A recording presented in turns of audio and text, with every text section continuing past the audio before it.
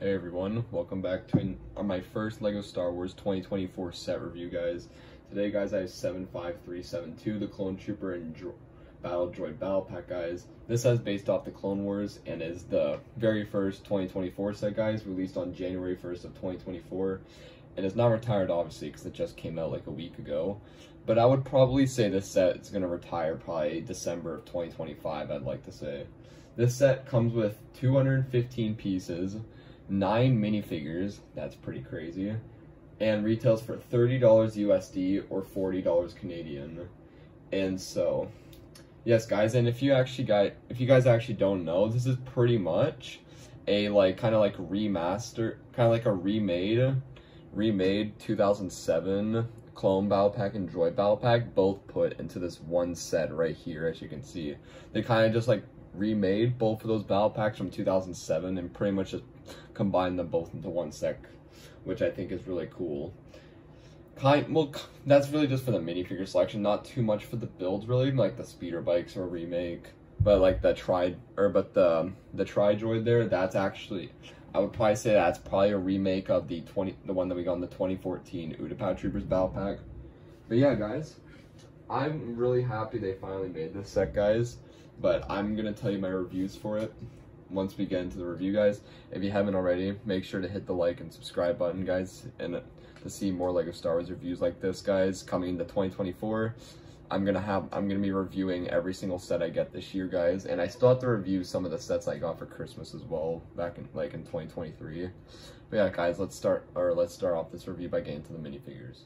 Alright guys, so starting off, we have the brand new um, regular P2 Clone Trooper, guys, and I'm super happy they finally remade this figure, guys. The last time we got this Clone Trooper was in 2014, and that was in a Microfighter, which I'll, I actually have, so I'll show it to you guys here in a sec, but yeah, guys, this is a really nice minifigure. I'm really happy they updated, or they remade this Clone Trooper, guys.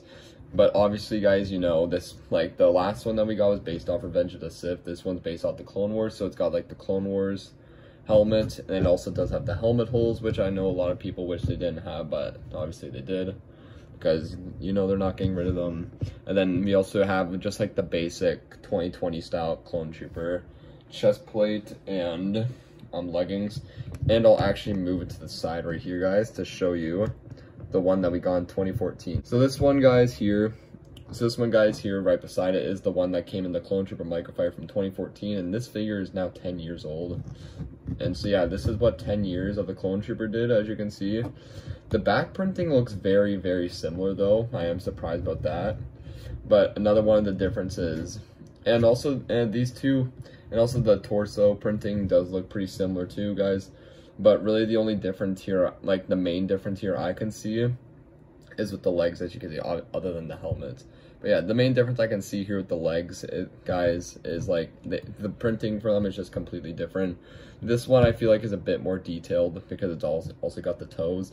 This one's just a bit more um, basic and simple. But yeah, and then also, we've also got the um, helmets under, guys. I can quickly show off the helmets too if you guys like to see what the helmets look like. I'd probably still prefer the 2014 one just because I'm a bigger fan of the um, Revenge of the Sith style um, Phase 2 clone helmets. Yeah, guys, this is really what, this is what 10 years did to the P2 Clone Trooper, guys. This is what 10 years did. And then also, you guys know we got two other ones in this set. But yeah. Yeah, guys, this is exactly what 10 years did to the regular P2 Clone Trooper. And yeah, guys, I'm gonna give this, I really do like this minifigure. I just wish it didn't have the helmet holes, but yeah, I still do think those is a really good Clone Trooper. I'm gonna give it a solid 8 out of 10. Next up, guys, we have the Shock Trooper, and the Shock Trooper is really nice as well. I do really like Shock Troopers. I'm really happy that we got Shock Troopers in the new Coruscant Guard gunship last year, guys. Yes, this is not the first time we got um, the Coruscant Guard Trooper since 2014, guys, because we also did get in the Coruscant Guard gunship, but like it's really the exact same. Um, but like yeah, it's got the really nice printing. It's pretty much just the regular P2 Clone Trooper, but just with like um, making some of the parts red, as you can see. But yeah, I do think though this is a really nice figure. I love these.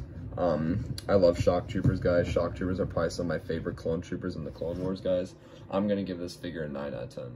And here we have another figure that's finally making return after now this one being nine years, guys, a Super Battle Droid. The last time we got a Super Battle Droid was, I think, I believe in 2015. So I'm really happy that we finally got um, Super Battle Droids back in LEGO Star Wars, guys. not too sure if it's different than the last one. I can maybe check on Bricklink to see if they're the exact same, guys. But still, I'm just super happy to see that we finally got Super Battle Droids back, guys. I love these figures so much. And really the only other one I had was from Battle on Saleucami in 2014. But yeah, guys, it's just such a nice minifigure. I love it so much. I, I do believe, though, the, um, the legs could still snap pretty easily, which is why they stopped making them. But you never know, guys. I, you never know. Like they could have like improved the material a little bit, but still, I'm so happy they brought these minifigures back, guys, and these are just perfect. I'm giving them a 10 out of 10. And then finally, you guys, you just have your basic battle droid here, as you can see. And also, I forgot to mention with the um, super battle droids, I'll just show them in the background right here, but you actually get three of them in the set, which is really cool. But yeah, I'm also super, or yeah, just super happy they brought those figures back, guys. But now we just got the basic Battle Droid, guys. This is the Battle Droid. That, this is the exact same Battle Droid design that we've been getting since 1999, guys.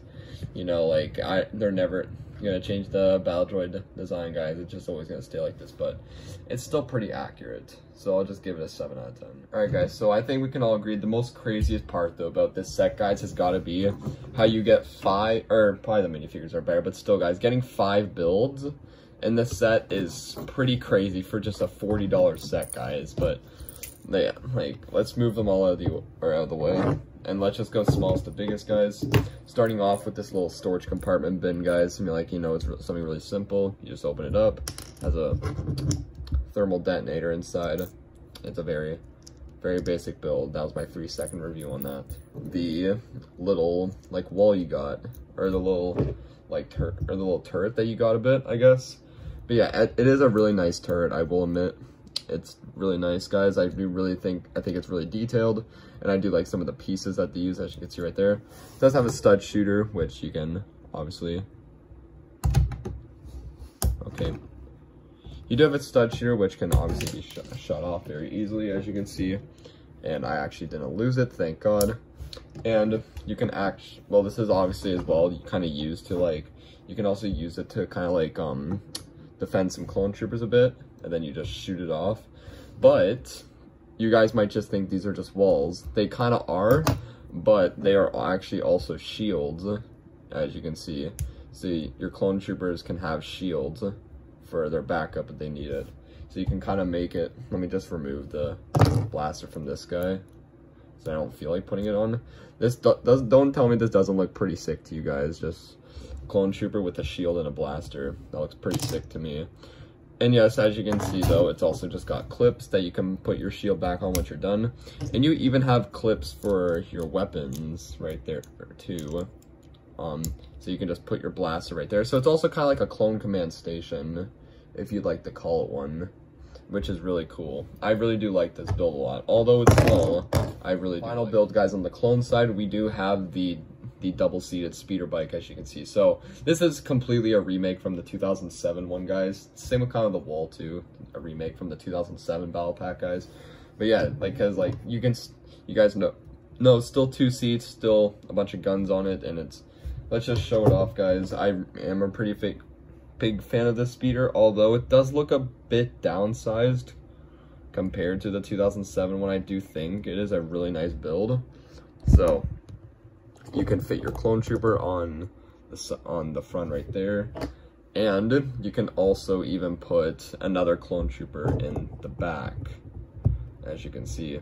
So there, you, and he's even got some guns at the back, guys, which you can use to fire off, and you can even take them off if you like. And then you also have stud shooters on the side, which I just demonstrated them, so I'm not going to demonstrate them there because you know how they work. And then you also got the driver in the front right here, guys. They're like kind of like drive around. The only thing that does that does just look a bit off to me though, guys, I will admit, is just kind of how like right here, it's like I don't know, this part here does it just feels just a bit too small, I feel like, or just feels a bit too low. I'm not too sure, but I still do really like this build. I don't know, just this front part here just feels a bit small compared to like this. This part just feels a bit oversized. But yeah, it is still a decent speeder, guys. I'll give it a 6 out of 10. What do you have for the droid side? Yes, you have a STAP and a tri-droid. Let's start off with the STAP.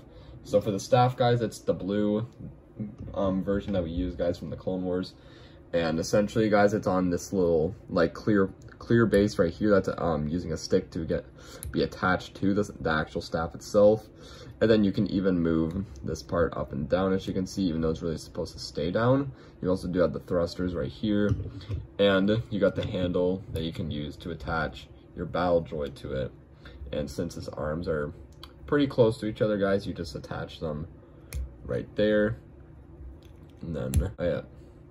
And then you just kind of got it him fly around like this, and you can kind of use this as like a handle bit, as you can see. Really cool build, and I really do like it. And best build of the set, guys, I think we can agree is obviously the Tri-Droid, guys.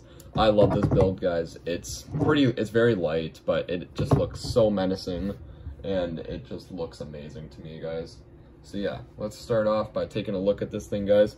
So starting off, you got the legs, which, like, you're not really supposed to move the legs too much unless you want to, like, move them like this. I don't move the legs, guys. I just kind of keep them in its position they are. But yeah, they are pretty simple builds, as you can see, though. Very simple. But all three legs are built the same. And then, it, and then you move up to the middle tri-droids. Got like a bit of like a blue, kind of like thruster or something there, I guess. You've got the eyes right here with some turrets, as you can see. You can also, you can like move it around. As you can see, just keep spinning it around. And the, then the one play feature that you have on this, other than moving the legs, is they brought it back, guys. Flick fire missiles. You guys know how these things work. Just flick them off like that. And yeah, if you flick them pretty hard, they can go pretty far. But then once you're done with them, you just slide them back into the legs right there, as you can see. They do look a bit weird though, just because of like how much they pop out, or just because of how much the back of them pop out. But hey, I'm fine with it. I do still think it looks really cool. But yeah, guys, that's all I got for this review. Alright, guys, so what do I think of the Clone Trooper versus Joy Battle Pack, guys, for 2024? I think for 30 or for 30 bucks or and 40 bucks, guys, this is just a phenomenal deal, guys. Like, this is just one you don't want to miss out on, guys. Like, I love the Clone Troopers. I love how they brought back Super Battle Droids. I think most of the builds look really cool, other, although me thinking that the clone the clone builds are a bit lacking, but I am a huge fan of the design for the battle or for the separatist um builds guys but still i think for 40 bucks and 30 bucks guys this is just not a set you'll want to miss out on guys this set is pretty much just perfect for what you're getting and i'm gonna give this set guys a solid 9.5 out of 10 i don't think or i'll give it a solid 9 out of 10 i don't i just don't think it's perfect mainly just with these two clone builds but still a solid 9 out of 10 guys. I know this january wave was pretty lacking for star wars because like we only got three sets. We just got this a four plus set and a polybag. So yeah, a very lacking January wave though for Star Wars, I will admit, and now we have to wait till March to get more or to get more new Star Wars sets, which does kind of suck. But I've heard, but the from what I've heard, the wave sounds pretty exciting, guys. But I'm not one just quick, just one quick announcement I want to say, guys, before this video ends is. Obviously, guys, you know I'm still in school right now. I'm in grade 10 right now, guys. But, yeah, like, like I started high school back in 2022, guys, and I'm in grade 10 right now, guys, and I'm going into exams, so it's there's not going to be too much uploading throughout the month, guys, but I promise one, I'll probably maybe have maybe like, I, I want to say maybe like two more videos out this month, guys, until I'll probably be absent for a while. But then once I come back, or but then once I'm done exams, guys, I'll be back in February, or I'll be back probably like in the very end of the month, guys, obviously, because I have to do a collection tour video. And then I'm also probably gonna do, an, do another Lego haul once I'm done those exams, guys. And yeah, so I'm gonna give this a solid nine out solid nine out of ten. I definitely do think it's better than the original Clone Battle Packs from 2007. And this could even be like the best battle pack of all time, maybe, guys. And I definitely want to get a few of these, especially if this set's gonna be on shelves for like about like two years or maybe even three years. Like the set could even stay on shelves till 2026. But I'm, I'm going to say this set will stay on shelves till 2025 probably, guys. But yeah, thanks for watching, guys. Don't forget to like and subscribe. And I'll see you with more reviews later this year.